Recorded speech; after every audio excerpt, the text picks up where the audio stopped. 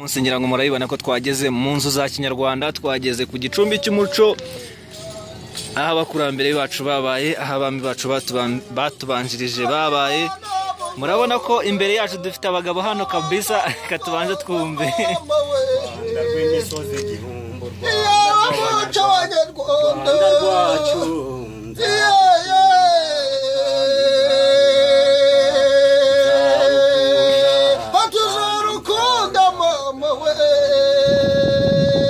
wow abanyarwanda badukunda umuco nyarwanda mama we mwaramutse mw'abagabo mwe.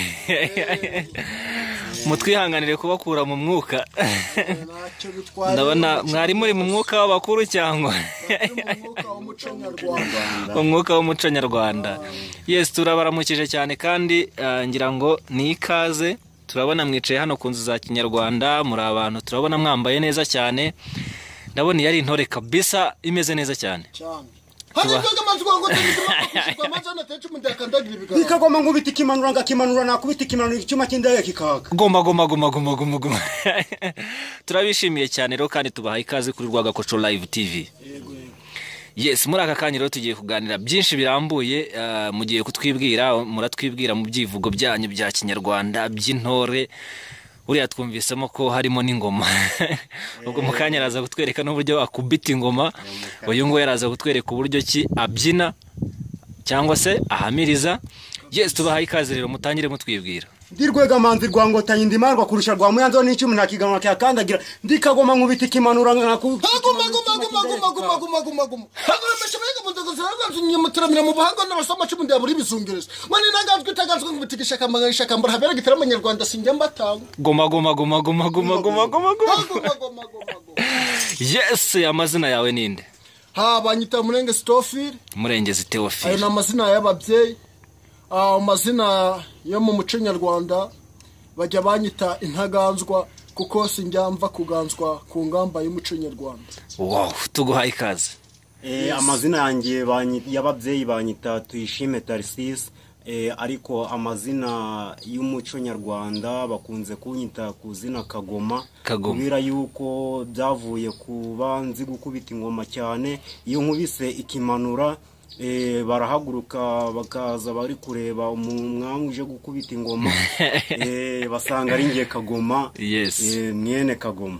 Yes tubahaye ikaze rero kuri rwagakoco live tv Ah, aha tubasanze turabona hari inzu za kinyarwanda. Ese ah, aha hantu hitwa ngo iki? Haherereye hehe aha hantu haherereye mu karere ka nyamasheke.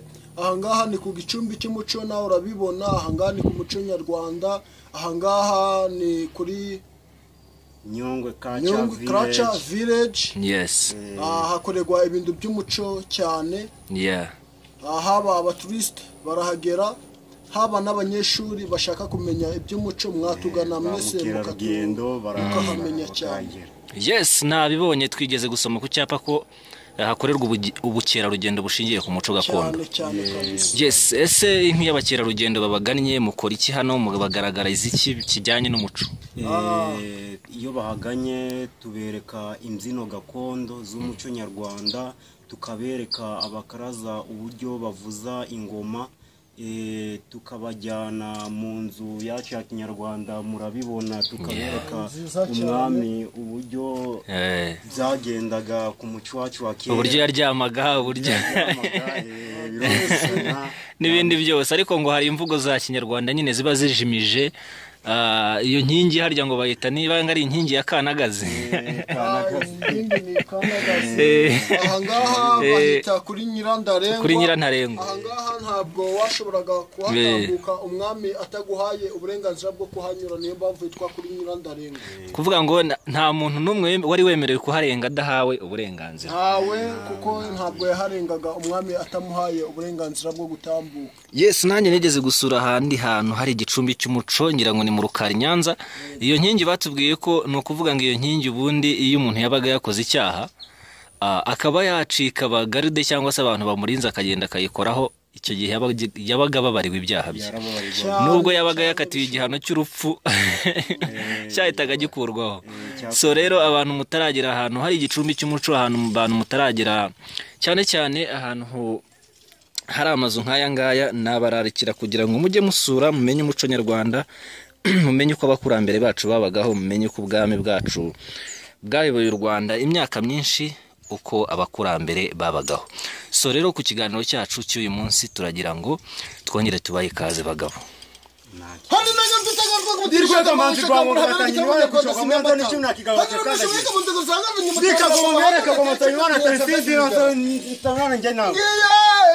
Goma, goma, goma, goma,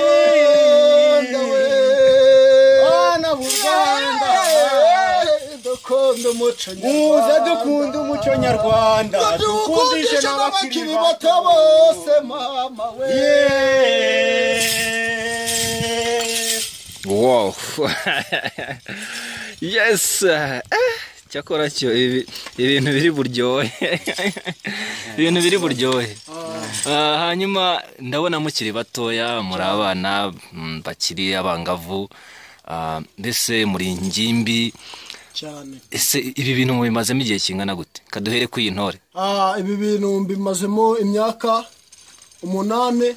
Imyaka umunani. Nabitangiye ndi umwana mutoya cyane nawe urimo urabyumva. Mm, Ah, nabitangiye kera. Mm, kandi ngaba kugeza isaha ngishimira abantu babimfashijemo mm.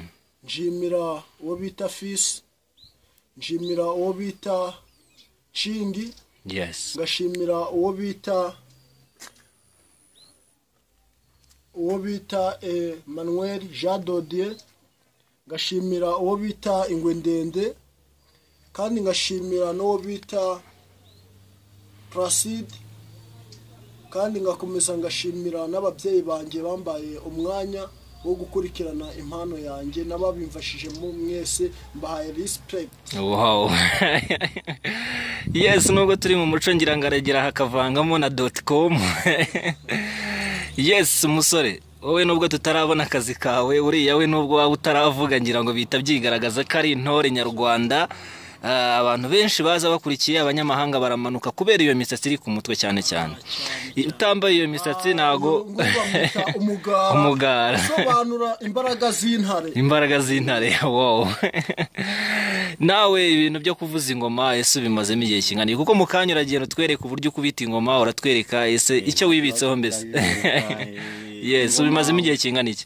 Gutangira kuvuza ingoma nabitangiye mfite imyaka irindwi. Mm, Eh, mbimazemo hafi imyaka cumi n'ibiri. Mm, ariko nabifashijwemo cyane cyane n'ababyeyi kuko byakomotse kuri papa. Mm, Eh, papa ni we uhagarariye abakaraza mu rukerereza mu ry'igihugu mm. Eh, nanjye nagiye ndabikunda kuri yo kubw'iyo mpamvu ntabwo ari ku nyungu z'amafaranga ahubwo ni ku nyungu zo gukunda umuco nyarwanda. Niwe wabivukiyemo. None ubikuriyemo n'abagiye barabimfashamo kugenda ndatera imbere. Eh, nkashimira umugabo wacu igisenyi wo bita kizito. Eh, ngashimira n'umugabo bita serumveri wabimfashijemo. Eh, no kuri kwabigira umwami ku nyundo. Niho wigiye. Niyigiye ingoma nkashimira na Placide eh, wamfashije kuba natera imbere agenda amenyekana hirya no hino.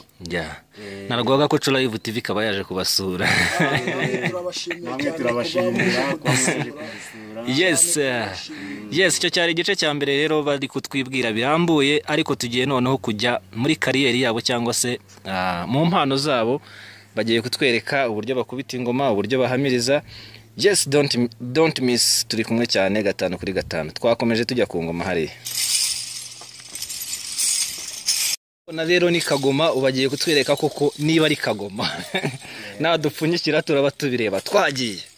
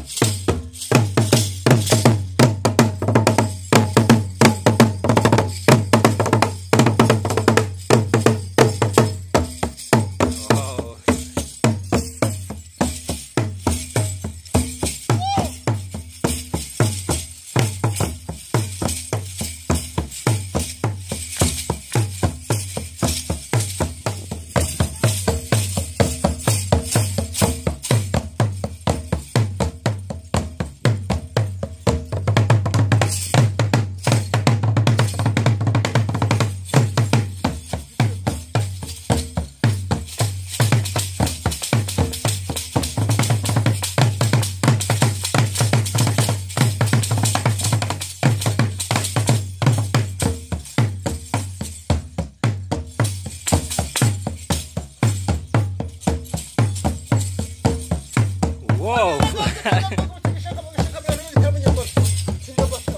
Fica como é que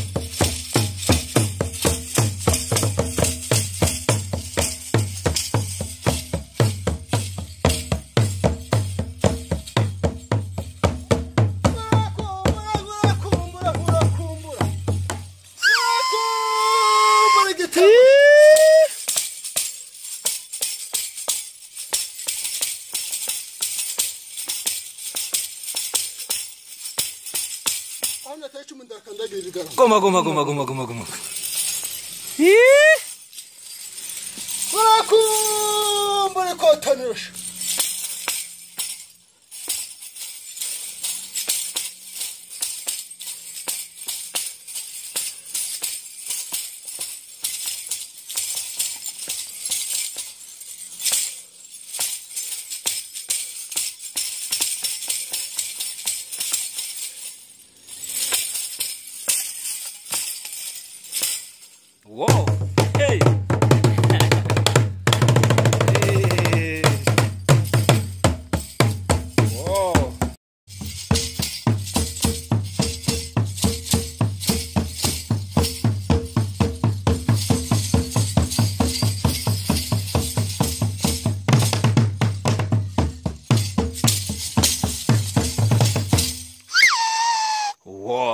Wow. yes yatubwiye ko yitwa murengezi rero amakuru yawe. Amakuru yanjye ni meza. Ibi bintu wabyitoje igihe kingana iki? Ah, ibintu nabyitoje nabihaye amezi atatu kugira imbe intore itari intoragura amayugi ubu uri intore gutya? Ah, ibintu byiza cyane bishimishije umva. Murakoze tuba twambaye twikwije inta- intaganzwa murakaze cyane. Niyo mpamvu muba muri abasore cyane kuko ni umurimo utoroshye ni ibintu bisaba ingufu ni ibintu bisaba urabona ko icyuya cyabize kabisa wagira ngo wirutse nk'ibirometero icumi. Ah hewana iyo mu bintu by'amarushanwa gutya Mm, ntago wajenjeka ugaragaza impano yawe ahiri. Mm, niyo mpamvu abonye n'abajaji bari bari kudukota. Ubu se nk'umuntu afite nk'itorero? Amanota meza cyane. Eh, njyewe uko mbibona ndabona wanigisha. Nk'umuntu afite nk'itorero akeneye kugira ngo uze aba- ababyinnyi cyangwa intore ntabwo bihenze? Ntago bihenze. Yagushakira hehe kuri njyewe na bosi. Ah, n'uwo mu bosi ungeneye. Eh, ah, mwazanshakira. Kuri nomero zigendanwa mm, harimo zeru karindwi umunani mm, zeru zeru mm, gatanu icyenda Mm. zeru gatandatu umunani cyangwa se ukanjakira kuri zeru karindwi umunani mm. zeru zeru kane kane icyenda zeru icyenda cyangwa se ukanjakira kuri zeru karindwi umunani Mm. kane kane Mm, icyenda zeru icyenda mm. magana cyenda mirongo icyenda n'icyenda ariko ihoraho ni zeru karindwi umunani zeru zeru gatanu icyenda zeru gatandatu umunani ukahasanga gutozereza itorero ryawe rikaba mu matorero adahirwa mu gihugu cy'u rwanda kandi azwi cyane kuko tubatoza ibintu byinshi tubatoza ubwoko bw'ibinyemera tukabatoza ubwoko bw'ibinimba tukabatoza igishakamba tukabatoza umushagiriro tukabatoza ikinimba cya kindi cy'ibyumba cya original tukabatoza igishakamba cyiza Eh. umushagiriro aho ngaho haba ku rwego rw'abakobwa cyangwa se ku rwego rw'abahungu hose ngerayo abakobwa ndabatoza abahungu nkabatoza amakondera ibyivugo byiza cyane bya bindi by'intore itari intoragura amayogi Wow. murakoze cyane abankurikiye mwese turagushimiye cyane murengezi. Kadukomereze ku mugabo uri hano wambaye umupira w'iwayiti wambaye akagofero nka bumwe bw'abakawuboyi wambaye ari kagoma. Irabanza twiyereka ho gatoya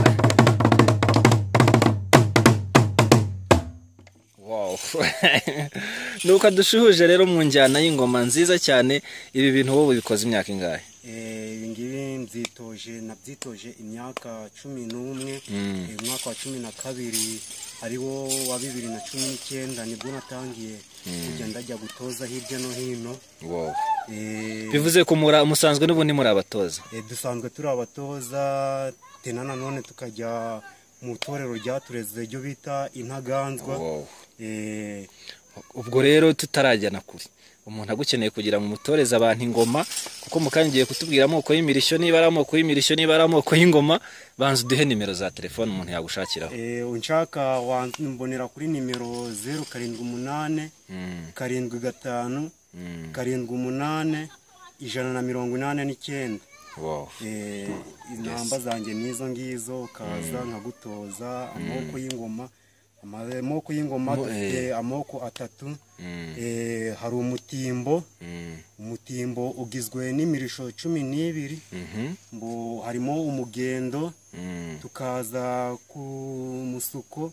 Tukaza ku eh, harimo eh, n'ikirushya. Eh, harimo ibihubi by'abasaza. eh, ibindi bazabimenyeshwa bahageze bazaze kwiga ibindi byinshi bazabimenyeshwa. Eh, hanyuma, eh, Eh, bahita babimenya ba- bataraza ngo batangire banyureremo baha amasomo. Ese bishobora gufata igihe kingana iki kugira ngo umuntu abe amenye gukubita ingoma neza? Eh, kwiga kuvuza ingoma eh, ni amezi arindwi. Mm. Eh, amezi ane ya mbere uza kwiga buri munsi guhera mu gitondo ukageza utaha saa tanu Mm. utangira saa mbiri zuzuye.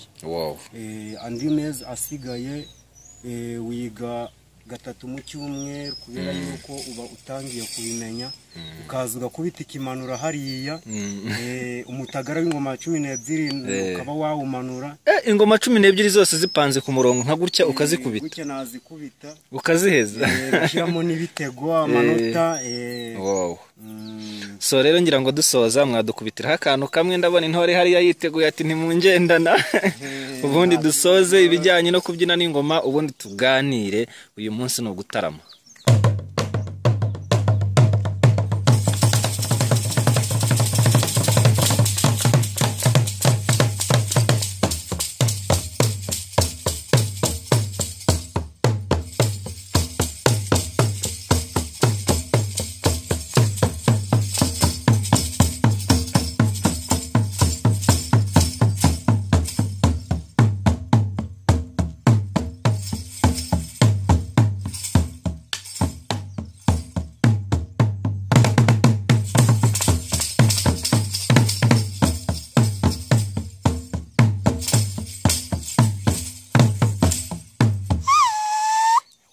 murakoze cyane rero.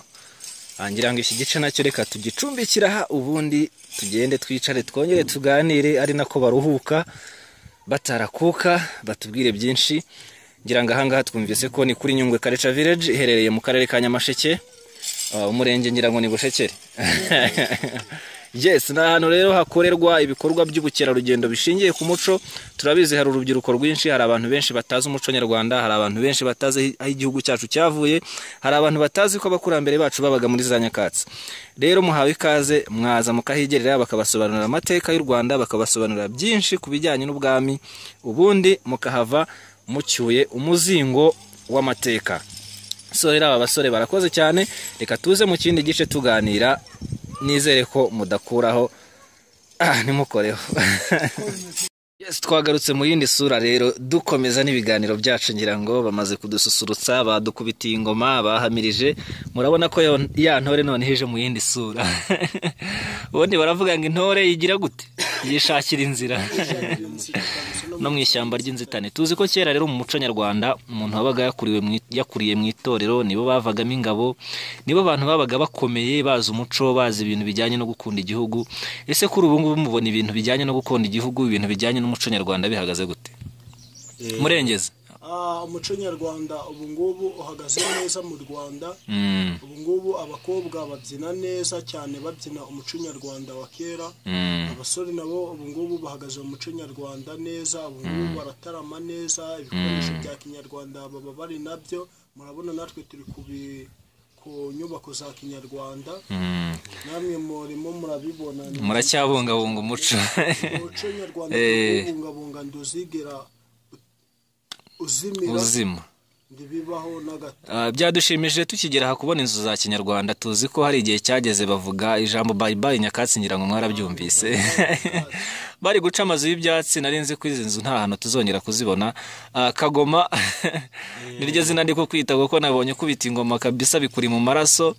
Ese ubona urubyiruko rw'ubu ngubu kwitabira ibintu by'umuco ibintu byo kuba kujya kuvuza ingoma kujya guhamiriza kuri ibona bakibikozwa eh, ubu ngubu ntago babikora cyane Mm, kubera yuko bamwe bigira mu by'isi mm, eh, ahubwo batuma n'umuco nyarwanda utangira kuzimira. Mm. Eh, ndagira ngo nibaze dufatanye dutangire twubake umuco wacu. Wowe ibyi- iby'isi warabyanze wabaye nka pawulo. Eh, nakurikiranye umuco wacu umuco wacu. wa gakondo Eh. kugira ngo utazazimira ndawusigasira neza. Mm. urabona hano turi no ku nzu ya kinyarwanda tuba twarayisigasiye kugira ngo Mm. ibe igihari tube tukikibuka amateka ya kera. Tugikomeza rero. Ese ko nabasanze hano muri abasore gusa nta nkumi mugira hano? Ahangaha ingumi tugira ni za zindi nyine ziri mu muco nyarwanda zikora umurimo w'umuco kuko twebwe twaje mu muco mbese bari mu bikari bari gucunda amata? Eh, tuzi ibintu tuzi ibintu tujya twumva ibintu kera byabagaho byo kubandwa byo guterekera byo ku ese hano mu ibyo bintu mujya mubigira ngo mubyereke abakerarugendo byo? Ah, ahangaha dukunze kubigira na byo. Mm, nawe muraterekera? Nzaza kuraguza tu. ahangaha Eh, ahangaha ufite cya kibazo kiri kure waza Cyananiranye. mu- mutureberayo. Tukakugererayo kabisa. Ok murengezi ngira ngo watambuka gato hari ibiti tujya tubona hano. Cyane cyane udusobanurire utubwire se bivuze iki. Ah, cyane cye murabibona hano ah, ni ibiti bibiri ni ibiti bitandukanye ngira ngo watangira utubwira ese ibi biti bisobanuye iki. Murakoze cyane Mm, iki giti mubona ahangaha cy'umuvumu. Yes. Uyu muvumu niwo hakorerwagaho ibintu byo kubandwa. Kari byo twakoreshaga mu buryo bwo kubatizwa. Eh, kera ya sisiteme yo kubandwa niyo yari iyo kubatizwa muri iki gihe. Eh, muri iki giti Ah, Ah, hari ahantu i Musanze numvise ngo niba ari ku cy'abakobwa. Habaho igiti ngo bagenda bagahobera kikabaha imigisha. Kandi na cyo ni igiti cy'umuvumu. Eh, ubwo si ukubera iyo mihango yakorerwagaho? Ah, iyo mihango yakorerwagaho na yo buriya nyine nawe urabyumva. Hanyuma si iki giti gifite uturabyo tw'umutuku? Ah, iki giti rero ni ni igiti gikomeye cyane gikomeye cyane mu muco nyarwanda. Mm. iki giti cy'umuko ni umurinzi. Cyari igiti Ah, cy'umurinzi iki giti ni umurinzi. Kuko nta muntu wapfaga kwinjira mu nzu y'umwami abona iki giti kuko murabona ko kiriho amahwa. Mm. ni cyo murinzi baragukubitaga ni cyo bagukubitishaga kandi ntabwo wahinjiraga. Hariho cya giti cy'umu Wow. Ah, murabibona rero hari ibiti bibiri bitandukanye biri mu marembo eh, yinjira mu rugo rw'umwami. Cyane ko izi ni inyubako zigaragaza umuco gakondo zigaragaza ah, cyane cyane ahantu umwami yabaga ah, murabibona. Ah, ibi rero kubikora ni mu buryo bwo gusigasira umuco gakondo ni mu buryo bwo gusigasira amateka y'u rwanda kugira ngo atazasibangana abatoya bavuka iki gihe bajye baza babashe kuyamenya babashe gusobanukirwa n'amateka yacu. Cyane ko twabaye ku ngoma ya cyami igihe kinini cyane. Ubu rero bitabungabunzwe abana bazavuka mu gihe kizaza cyangwa se abato nta kintu bazamenya ku kijyanye n'amateka y'u rwanda. Udusobanuriye biriya biti bibiri Ah, hari aho nari narabibonye hari ahandi twagiye dusura ni ibiti by'umurinzi. Bivuze ko ikintu kirinda cyamurindaga abanzi nyine mu myizerere y'abakera mu myizerere y'abami bumvaga ko kiriya giti cy'umurinzi cyabarindaga abanzi cyabarindaga imyaku ibintu byinshi bitandukanye. So rero mu gukomeza tuganira ndagira ngo ese mubona umuco nyarwanda kuri iki gihe? Mubona imvugo zigezweho kuri iki gihe zitazatuma umuco wacu uzima bijyanye n'ururimi? Ah, umuco nyarwanda hari ubu ngubu hari imvugo nyinshi ngo nda myaka ijana. Izo nta myaka ijana rero Eh. twebwe ahangaha mu muco ndibikora. Ahubwo dukora tuvuga za ndimi zacu za kinyarwanda. Mureba mama abantu icyizere se. Kuko ibyinshi Eh. Mm, twebwe tuba twizeye kandi twizeye no mu muco nyarwanda. Mm, ahanini ntitukagere ngo tuzapfa gupfa. Za myaka ijana tuzanazigeraho. Kuko hano turi mu muco Eh. tuzanywa tuzanywa amata meza. Eh. ba bakobwa bari mu gikari nabo bari barimo kubyumva. Wa mutsima mwiza w'amasaka. Eh, ewana tuwujye fresh. N'urwagwa. Rwa rwagwa inzoga rwa kinyarwanda. umutsama Eh. hano mujye muhagera muzajya muwabona Mm. Eh, wow. Hanyuma turi gusoza ndagira ngo mugire icyo mubwira abanyarwanda badukurikiye muri aka kanya. Ese baje hano ni iki mubateganyirije ese mwabereka iki? Kugira ngo udukurikiye muri aka kanya abe yagira amatsiko mumutere amatsiko ku buryo avuga ati nanjye ejo buracya njya gusura nyungwe karica village. Aha hano muri nyungwe karaca village dukora ibintu byinshi bitandukanye bifatiye ku muco nyarwanda kandi bishyigikiye umuco nyarwanda kandi no ku bukerarugendo. Kabone yuko muri kuza kudusura ahangaha mu kigo cya nyungwe karaca village mwabonye yuko ko hari icyapa cyanditseho nyungwe karaca Ah, mm, twabonye mufite akitivite nyinshi twabonye harimo nk'ibyo bita banana beer making twabonye ibyo gutembereza abantu mu cyayi twabonye ibyo gutembera mu giturage twabonye mufite ababyinnyi namwe mwatwiyeretse uburyo mushoboye. Ahangaha dufite abakaraza Eh. dufite handicraft shop. Yes. Waza tukaguha ibikoresho by'umuco.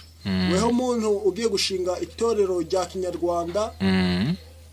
tugereho tukwereke aho ibikoresho bya kinyarwanda bibarizwa ni hano muri nyungwe karaca village yes umuntu Ah, ushaka eh. gutoza n'itorero ryawe Mhm. waza wahamagara kuri za nimero zacu twavuze mwazisubiramo duhere ku zawe ushaka gutoza abakaraza gutoza abakaraza wahamagara kuri zeru karindwi umunani Mhm. karindwi gatanu karindwi umunani ijana na mirongo inani n'icyenda.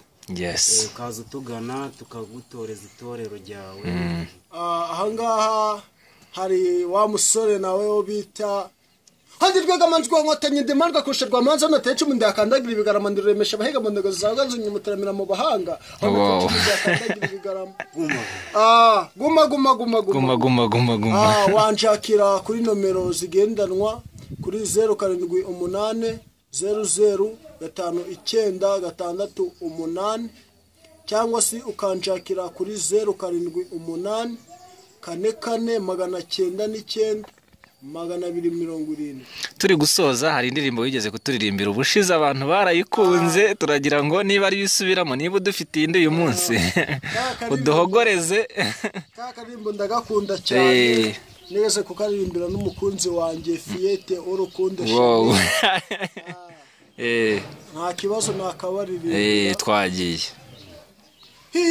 yeah, yeah, yeah, yeah. Mare vatembo maribori naramubonya gorori kimero akebutsa ndee genda hari icyo kibibi cyahamubimbuye muranga kikamura ngiza mu gituza kikamutembera mu mukondo. Niwumva inkoni ndemye mikobe ikibatsi kihimbangwa mu gihumbi n'igicumbi igicumbi tuze n'igicaniro cy'urukundo. Naramubonye avuna umuringa nabutwa atangihira